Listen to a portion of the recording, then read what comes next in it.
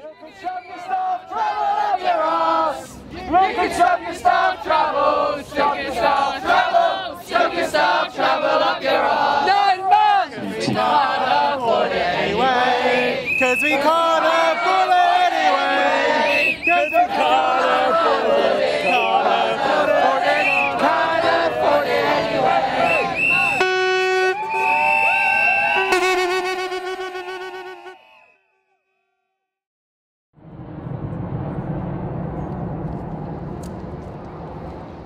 Congratulations to every single one of you. Congratulations for your patient organising over the last few years.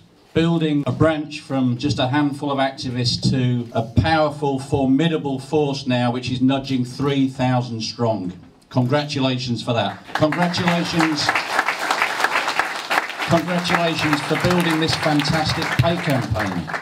And congratulations for building the confidence of the workforce to a point where you have been able to deliver a fantastically successful strike. So those ones who are taking industrial action today, you are the heroes and heroines of our movement. Because,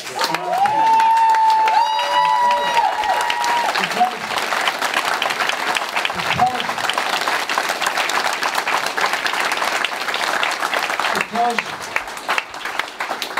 the sacrifices you're making today are the sacrifices that will protect future generations of workers coming into this job. If we don't draw the line in the sand now, where do you think wages are going to go in the future? It'll be lower and more exploitative, and it'll be a more bullying management as well. If they think they can get away with it, they'll continue to get away with it, and they'll come forward with more. So what you're doing today, I think, is heroic. It's the right thing to do. And to be frank, it will force them back to the negotiating table. We've got to be confident about that.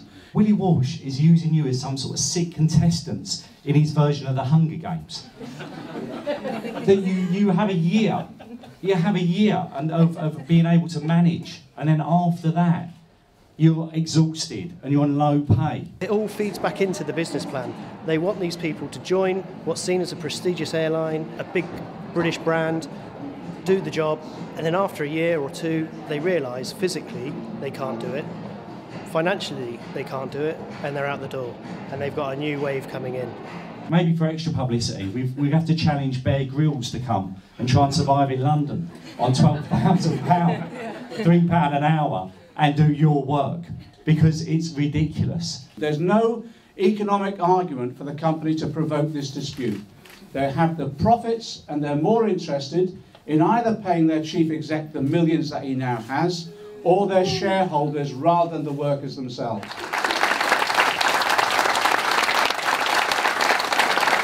What we're showing today is three factors. Determination, you're absolutely determined we're going to win this. Courage, whatever it takes, whatever it takes. And above all else, solidarity. Solidarity with one another, reinforcing each other, campaigning together, yes, if necessary, taking industrial action together. Why?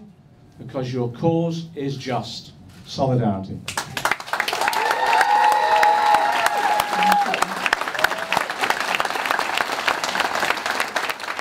God knows what your children will be, the state of their working lives as they drive our economy down to the levels of India and China as a living wage. That's what they want. That's what global capital is all about. So it's time now to show us the fight. As a wise old trade union officer said to me one time, if your parents wanted something to roll over and have its belly tickled, they'd have got a dog, not a human being. You're human beings. Let's get out there, let's take this fight, let's hit the picket lines. Get on the bus. Thank you.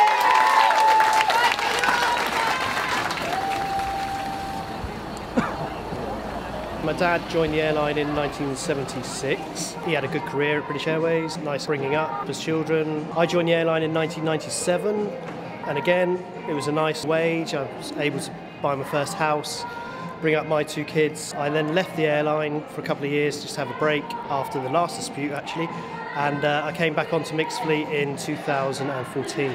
So yeah, BA's been part of my life for yeah, best part of 40 years, I guess. The job itself hasn't changed. It's exactly the same as what Dad did in 1976, what I started doing in 97. So the job hasn't changed.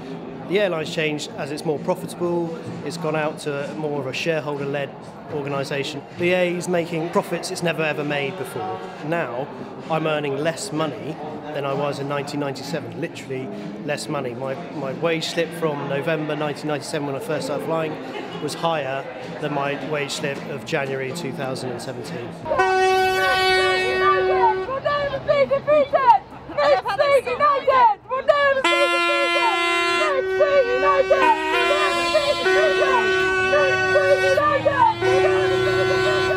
It's incredibly difficult to live on £12,000 a year, and even with the sustenance pay of £3 an hour, it makes it difficult. People are starting to not eat their meals.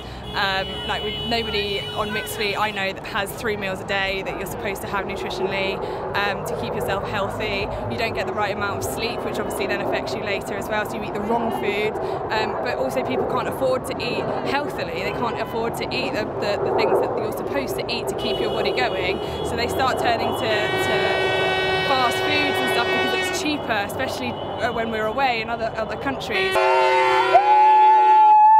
You're required to live within two hours of the airport. There was a There's- house there's a share, house wasn't share. there, with like three, four bedrooms and eight people living there and Yeah. paying over £600 each. I think that's absolutely disgraceful. And people can't afford to live like that. But they also can't afford to rent or buy a property on their own. So you, you have no choice but to be put into that position. And you work for a premium airline. They're working us on up to eight day weeks, so they'll make us do short haul flights going straight into a night flight to say like Cape Town or Johannesburg, um, and then you've worked previously, you've been up at 6 a.m. most mornings, and then you're going off and doing a night flight that that evening. It's it's it's it's really really hard on short haul duties. You're getting up 5 a.m. even earlier sometimes to come home, and people haven't had an opportunity to have a proper meal. So you come in on a on a flight, you land into Heathrow, you have an hour to then go back onto the, another aircraft to go back to another destination, and people haven't eaten sometimes for over 12 to 15 hours. When you're at 36,000 feet, we are there as the ambulance service, we are there as a fire service, we are there as the police if we need be, and also the fantastic customer service which these guys do day in, day out. But that's, it's, it's almost like BA sort of like forgotten that. There's been um, a scientific study that says after 17 hours awake, it's the equivalent of having so much alcohol in your system, even though you wouldn't have touched a drop of alcohol. Um, it starts to have that effect, and the more you're awake, the more of an effect that has. And we often will be awake on, you know, coming home from America, where you're waking up in the American morning, you're not able to sleep again that day. You then do the night flight home if you're unable to sleep in the bunks or you don't have bunks, for example. I've been awake now for 40 hours straight with absolutely no no rest, no sleep whatsoever, and that is not a safe situation to be in at all.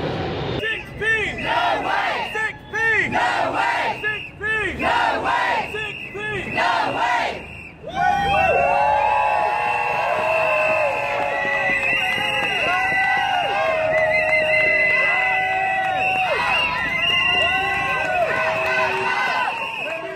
The Marks and Spencer sandwiches on board are selling for I think it's £4.50. So we'd have to work for one and a half hours to be able to afford a sandwich from, from the, uh, the company that we work for. That's not the only change to the product on board the aircraft that our customers are seeing. It's one of many. They're just cutting back everything. They're making all these cost savings. They're acting like a company who are making massive losses.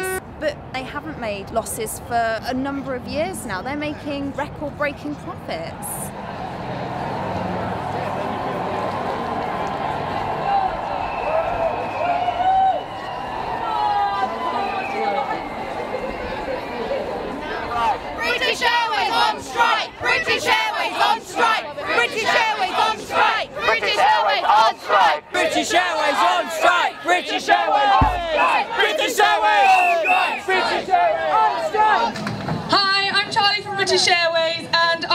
Young woman, obviously, and I just wanted to say that we are fighting inequality and unfairness at British Airways and we are on strike today, so if you come and support us, that would be amazing. Thank you.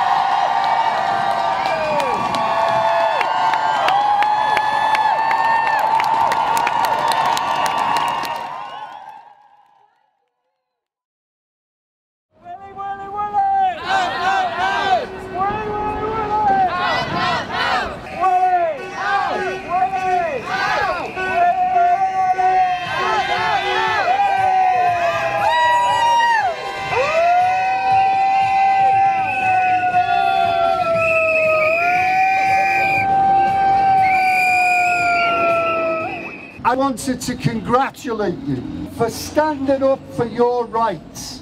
You know, the reality is in today's climate, bosses often think that they've got the upper hand and that they can constantly take from ordinary working people. It's an absolute disgrace what British Airways are trying to force on you.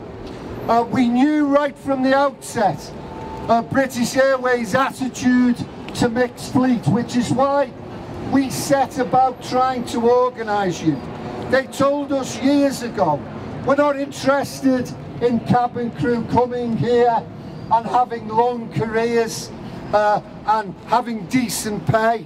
We basically want to employ young people, we want to burn them out, pay them as cheap as we possibly can. At the start, uh, as the fleet was very small, um, the company started enforcing this um, this control uh, by first by union busting techniques, uh, slashing off um, uh, union reps from BASSA, uh, which was the existing branch, and also spreading rumors about people not being able to join a union people started talking to each other as crew do, and uh, especially with social media, we tried to organize and get more members with the support of Unite. We managed to get a recognition agreement, but um, while I was at the branch, uh, we never managed to get um, a facilities agreement. Obviously, this gave uh, the company uh, a lot of control. It was always a question of uh, we will deroster you if we think it's appropriate.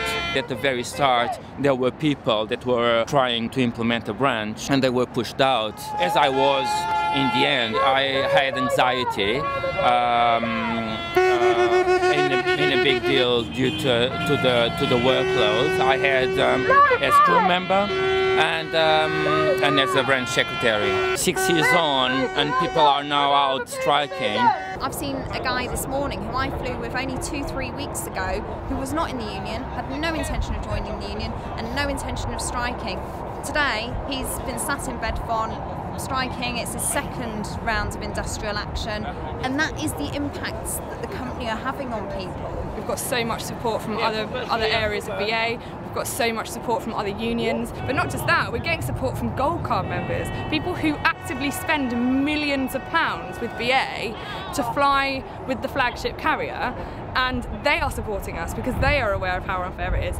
I think that people are now just starting to realise that we're not on our own and solidarity is strength. People are becoming more and more confident to come out and show their face and actually stand up for what they believe in. Your union will be shoulder to shoulder with you. Uh, we've obviously increased our, our strike pay to assist you financially and I want to tell you now whatever resources you need uh, you'll get. My experience tells me that when working people stay solid with one another anything is possible and I'm confident that justice will prevail. Well done. United